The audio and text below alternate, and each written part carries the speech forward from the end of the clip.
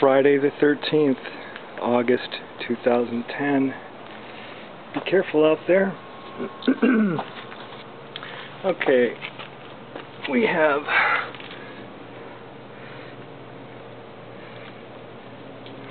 I have to clean all that crap out. And there's garbage underneath underneath that even. It goes down about a foot. Yeah. Okay, and then I have to replace those guys there and I have to replace a section of these that are the support posts for the roof. So I'm first going to replace, put a post there, and then further over towards the house, and, uh, and then I'm going to cut this guy off, and then put a patch in, and then metal plate it, and put a, a border of 2x4 around it. It'll look nice. It'll hide the metal strapping. Um, so because those on the bottom there are rotted. This guy here, you can push your finger almost all the way through it on all the sides. So, and those guys were supporting that roof, that little shelf roof.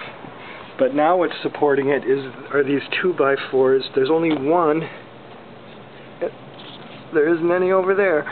There's one over here and one on the other side. And those are getting kind of rotted on the bottom as well. So, and that's supporting the deck and the roof. So that's why these guys here we have to cut off, patch in, and there's metal banding that you put around the patch.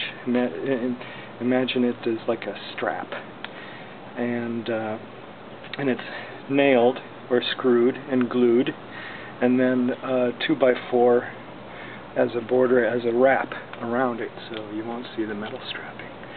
And that's and then a new uh, there's no there's no concrete or anything under there so there's going to be a new pad um, under that guy. So well I gotta get clean, cleaning all that crap out. And it's wet and muddy because we just had another rain. Okay?